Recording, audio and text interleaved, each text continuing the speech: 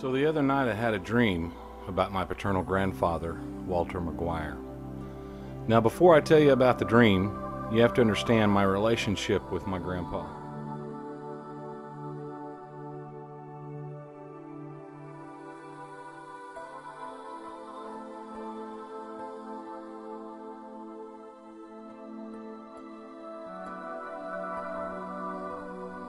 Next to my dad, my grandpa was one of the hardest working men I know. And he was all about getting things done that needed to be done. Now, keep in mind, as a young man, I didn't fully appreciate his work ethic because I was a kid. I didn't care that much about hard work and the benefits it gives a man.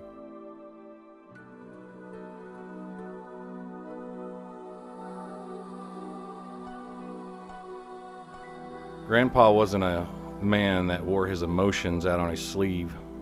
He didn't give you a hug and he didn't tell you he loved you all the time, but with him you just knew it. He wasn't mean, but he was very serious about the work that he did. If he had you working with him, he would kind of bark orders toward you, but you could tell that he was just trying to teach you something and make you believe it was something that you needed to know to survive in this life.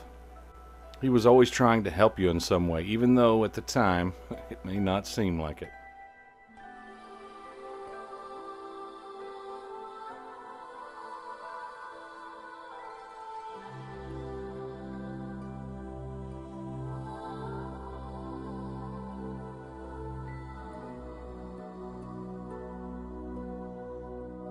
Now, Grandpa wasn't all work.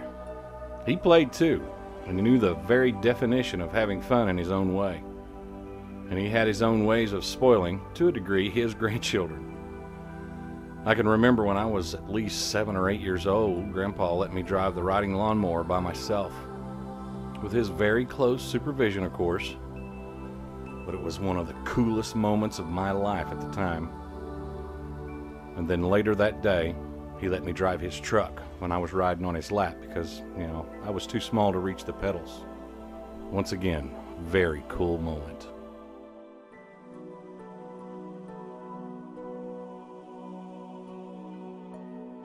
There are at least a few thousand memories that I will cherish the rest of my life, but I won't mention them all here. But I think you get the point. Now, from the time I was born until I was nine years old, my parents, siblings, and myself all lived in Kiefer, Oklahoma. And Grandma and Grandpa McGuire lived just outside of Kellyville, Oklahoma. And I didn't get to see them all the time, but it was pretty often. But Grandpa had a great idea, and he decided to give all his kids 20 acres of his own land each. So my dad had an even better idea, and he decided to move us all out there onto the new land and I was able to visit Grandma and Grandpa more often. Well, as someone once said, all good things must come to an end. Just a short time after we moved near to Grandpa, he began getting sick.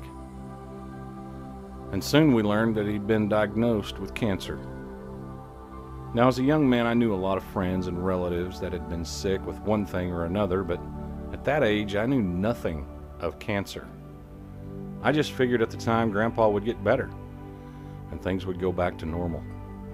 That was until one day my father told me that the hospital was sending Grandpa home, but he wasn't getting any better. But in fact, he was getting worse. That was my first indication that Grandpa wasn't doing so good.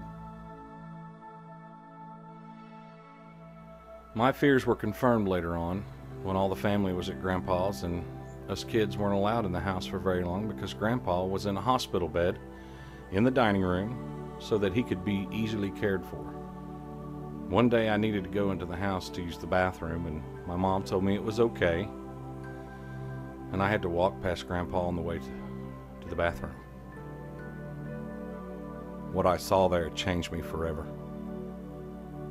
My grandpa, whom I hadn't been able to see for a while, was a lot skinnier than I remember, and he was lying in a bed with all his children around him. My dad was talking to Grandpa, and I paused briefly to take a look at him. and was secretly wanting to talk to him. It was then that one of my aunts asked me if I wanted to say hello to Grandpa, and I said yes. And she told me it'd be okay. I then took a few steps closer to him, and I said, Hi, Grandpa, and received no response, other than a blank stare from his face. He looked at me very confused, and it became quickly clear that he didn't recognize me. It was a very sobering moment for a young man. And it was then that I began to accept that his time with us here was getting shorter by the day. A few short weeks went by, and the inevitable happened. Grandpa passed away, and I watched in horror as I seen my loved ones weep in sorrow and some that I'd never seen cry before, which was equally traumatizing. As you can imagine, this was a hard time in my young life, and in time I learned to deal with it. But those times didn't come without a few short periods of missing him in my life and feeling depressed that he wasn't there. But I did manage to cope, and I continued on with my life.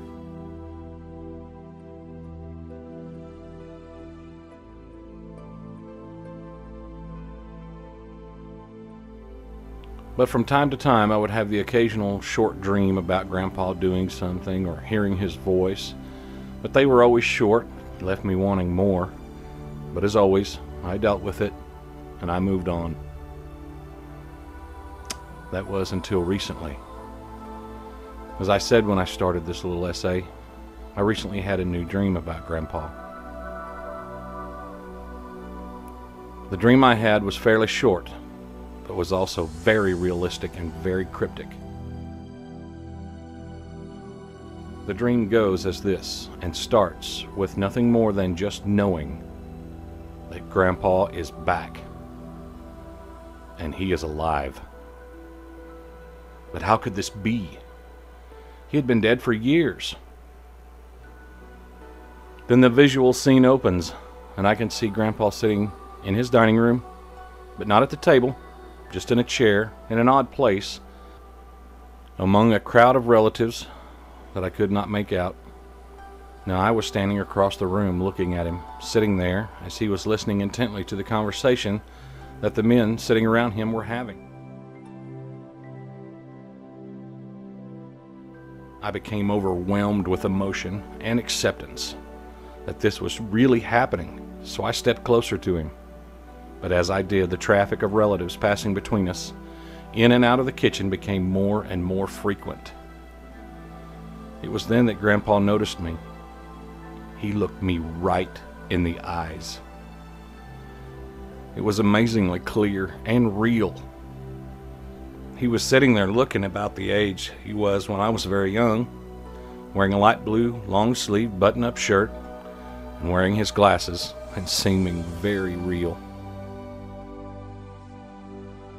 I spoke out to him, but I can't remember verbatim exactly what I asked, but I knew it had something to go with the idea of, Are you here to stay? And he looked at me even more intensely, but he wasn't smiling at all. And he had a look on his face that told me he had something very important to tell me. But the traffic between he and I became even more frequent, and I could tell he was getting frustrated, but after a few moments I discovered that it wasn't the people flowing by us that was the focal point of his frustration. It was the fact that he couldn't speak to me at all. Kept trying and trying, but he couldn't get the words out. And finally, he just looked at me, defeated, with a look of soft despair, as if to say, I can't say the words but you already know the answer to the question.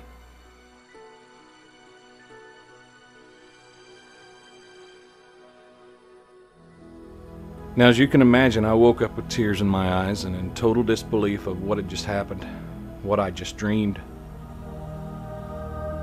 But as I came more aware of what had just happened, I became more at peace with the message I believe was being conveyed to me which I feel was the notion that it's okay to remember your past but it's not okay to live there.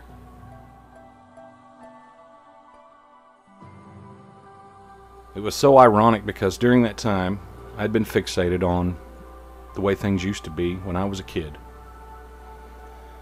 And the differences of our lifestyles then compared to the present day. I think it was just someone's clever way to tell me to live your life one day at a time. Do the right thing and try to make the world a better place in my own way, my own special way. This much is for sure. This is one dream that will live in my heart until the day I get to see Grandpa once again. May God bless you all.